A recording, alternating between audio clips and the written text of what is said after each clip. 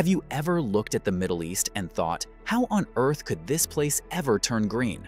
This is a region where summer temperatures push beyond 50 degrees Celsius, where 83% of people live under extreme water stress, and where nearly half of the land is already degraded. Yet today, governments are announcing plans so bold they sound like they came straight out of a movie. The Middle East has always lived with scarcity, scarcity of water, fertile soil, and vegetation. For millennia, civilizations survived here only by hugging rivers like the Nile, the Tigris, and the Euphrates, or by carefully maintaining oases. But today, those age-old survival systems are breaking down under the pressure of modern population growth and climate change. According to the World Bank, the Middle East and North Africa is the most water-scarce region in the world, home to 6% of the global population, but less than 2% of renewable freshwater supplies. On average, every person in the region has access to just 1,000 cubic meters of water per year, compared to a global average of around 7,000. In places like Jordan, it's closer to 100 cubic meters, 10 times below the threshold the UN considers absolute scarcity. At the same time, the region's population is booming. Egypt adds 2 million people every single year. Riyadh, Saudi Arabia's capital, is expected to double in size by 2030, and in wealthy Gulf states, sprawling urban growth means more demand for food, water, and cooling. Add climate change on top of that, and the problem becomes urgent. The Middle East is warming twice as fast as the global average, with projections showing average temperatures could rise by 5 degrees Celsius by the end of the century. Dust storms are increasing in frequency and intensity, while rainfall is becoming rarer and less predictable. By 2050, some reports warn that parts of the region could become literally uninhabitable for humans during extreme heat waves. So greening the desert is not just about planting pretty landscapes, it's about survival. On the surface, these sound impossible, but they're happening right now. So how exactly are Middle Eastern countries planning to pull this off, and is any of it actually realistic? Let's start with the biggest headline. Saudi Arabia's pledge to plant 10 billion trees. The plan was launched in 2021 under the Saudi Green Initiative, part of the country's Vision 2030 strategy. To give you a sense of scale, 10 billion trees would cover around 74 million hectares of land. That's larger than the entire country of Chile. Saudi officials say the project will do a few things at once reduce dust storms, trap carbon emissions, create new jobs, and make cities like Riyadh a few degrees cooler. The plan also involves turning 30% of Saudi land into protected areas, creating a buffer against desertification. By 2030, Riyadh alone aims to plant 7.5 million trees, transforming one of the world's most sprawling concrete cities into an urban forest. Now, 10 billion is such a massive number that it's hard to picture. To meet that goal by 2030, the country would need to plant over a million trees every single day. And these aren't just random trees. Saudi scientists are focusing on hardy native species that can handle blistering heat and salty soil. Progress has already started. Since the initiative launched, millions of trees and shrubs have been planted in parks, cities, and degraded lands. Drones are being used to scatter seed balls over vast areas, and volunteers are joining national campaigns to plant by hand. But the plan isn't just about greening the desert. Saudi Arabia is the world's biggest oil exporter, and the Green Initiative is part of its attempt to shift its global image. Whether it's about the environment, politics, or both, planting 10 billion trees is a statement. The real question is, can the desert actually support this many trees? We'll come back to that when we talk about challenges, but for now, this is one of the boldest environmental pledges ever made in the region.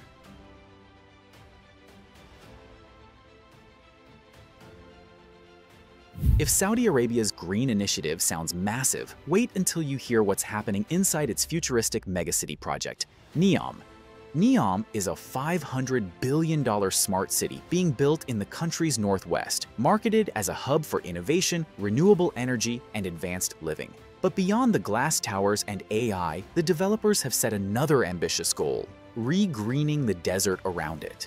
The NEOM Regreening Initiative aims to plant 100 million native trees, shrubs, and grasses by 2030. That's enough vegetation to cover roughly 1.5 million hectares of dry land. The idea is not just to make NEOM look green from space, but to rebuild lost ecosystems, stabilize soils, and reduce desertification in the surrounding area. Unlike older tree planting drives that focused on importing species, NEOM is working with scientists to prioritize local drought-resistant plants. They've partnered with Saudi Arabia's National Center for Vegetation Cover and are testing new technologies to water seedlings efficiently and monitor their survival rates.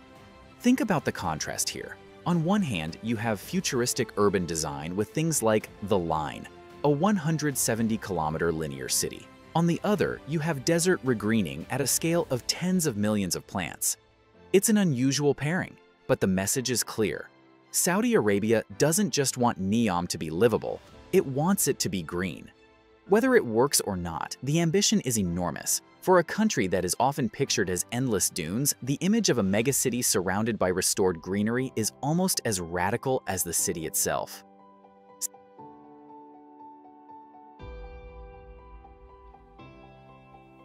Saudi Arabia is not keeping these ideas to itself. In 2021, it launched the Middle East Green Initiative, a regional plan that makes even the 10 billion tree pledge look tiny. The goal here is 50 billion trees across the Middle East, with 10 billion inside Saudi Arabia and another 40 billion spread out across neighboring countries. To put that into perspective, that's an area of 200 million hectares, roughly the size of two Frances, covered in trees. If it works, this initiative alone could remove about 2.5% of global carbon emissions from the atmosphere, an enormous figure for just one region. Countries like Egypt, Jordan, Iraq, and Morocco have all signed on. And to back it up, the initiative includes practical steps, building a regional knowledge center to share data, setting up programs for cloud seeding to increase rainfall, and creating early warning systems for dust and sandstorms. The scale is so big it almost sounds unrealistic, but this is where the Middle East is trying to turn a shared crisis into a shared project. The thinking is simple. Desertification doesn't stop at a border, so the fight against it can't either.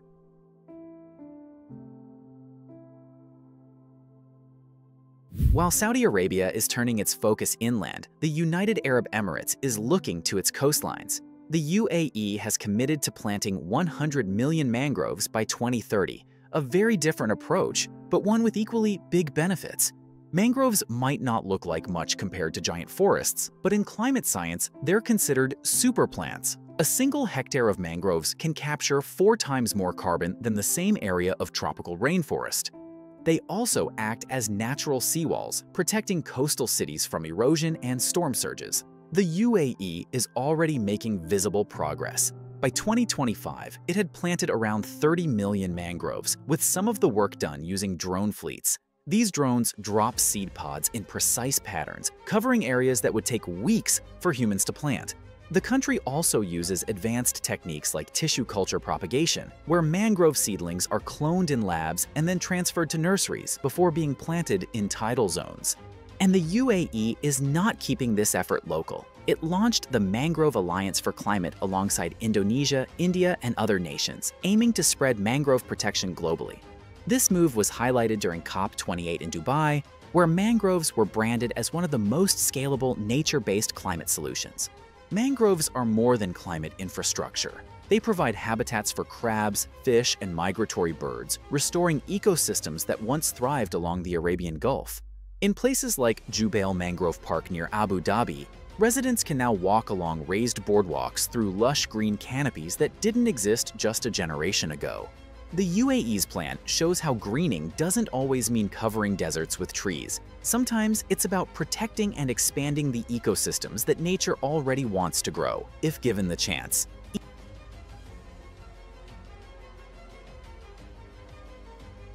Egypt faces a unique problem. More than 95% of its population lives along the Nile, leaving almost all of the vast desert empty. But as the population surges past 110 million, the Nile Valley can't keep up with food demand. So Egypt has set out to create farmland where there was none before.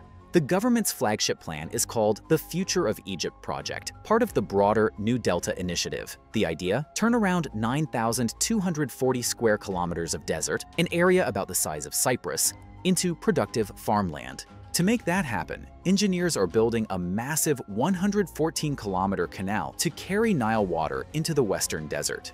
The canal, costing around $5 billion, is designed to deliver 3.5 billion cubic meters of water a year. With that water, Egypt hopes to grow wheat, corn, and vegetables on once barren sand. The project is already visible from satellites. If you zoom in on Google Earth, you'll see perfect circles of green sprouting in the middle of the desert, a sign of pivot irrigation systems at work. It looks like giant crop circles, except they're feeding a nation. But this plan is not without controversy. Egypt is already facing a water deficit, and with Ethiopia filling its Grand Renaissance Dam upstream, Nile water is even more contested. Some argue that expanding agriculture into the desert could strain water supplies even further.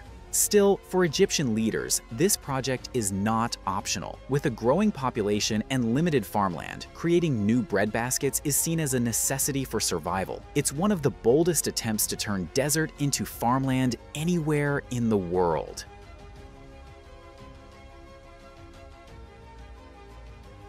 Not every plan to green the Middle East involves planting trees or digging canals. Some ideas sound more like something out of science fiction.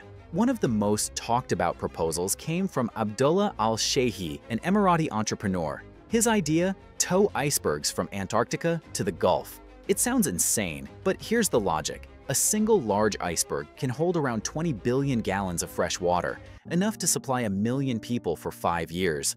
If dragged to the UAE, the melting ice could provide irrigation for desert agriculture and drinking water for coastal cities. There are also proposals to build massive undersea freshwater pipelines, such as one stretching hundreds of kilometers from Pakistan to the UAE. In theory, it could deliver billions of liters of water directly to the desert.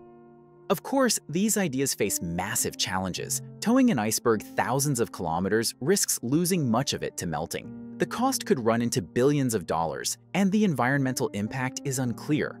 Undersea pipelines also face engineering hurdles and geopolitical risks.